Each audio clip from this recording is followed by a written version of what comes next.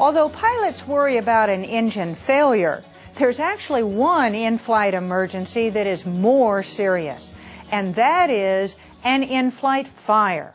Now the good news is you can prepare for it, and with preparation you can greatly improve the outcome. How do you know when you have an engine fire? Well, you could smell oily smoke coming into the cockpit, and you might feel the heat. Now let's follow John through the engine fire in-flight procedures for a Cessna 172.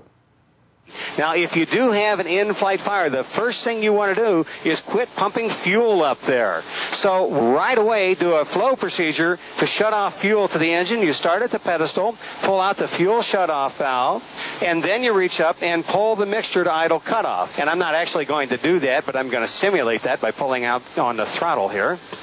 And finally, turn off the master switch. And the reason you want to turn off the master switch is if you had a fire up there, it burnt the insulation off the wires, and that could cause a short that could reignite a fire.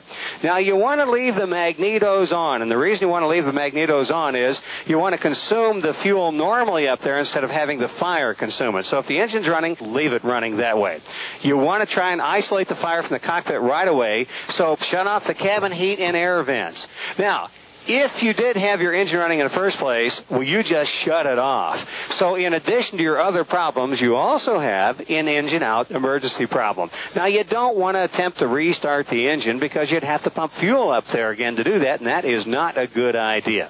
Now ask yourself at this point, did the fire go out? And if the fire went out, all you have now is an engine out emergency, so we'll go through the ABCs. A is for the attitude that gets you the correct airspeed, and that's wings level attitude.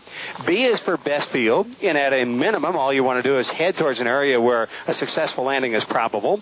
And C is for the cockpit checks. Now, we don't have to do the cockpit checks to figure out why the engine quit.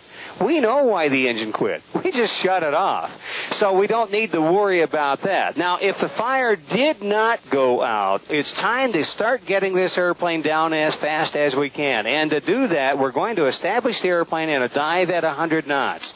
And this 100 knot dive will do two things for us. First of all, it'll help get us down, which we really do want to do. And secondly, it might blow out the fire, which would be a good thing. Now, at this point, if time and altitude allow, you should pick up your checklist for the engine fire during flight. And it says bold items are mixture idle cutoff, fuel shut off valve off, auxiliary fuel pump switch off, and master switch off. And we've done all of those items. Uh, next, it says airspeed 100 knots. Well, we've got that already. And it says force landing execute. I think we think of that on our own, don't you?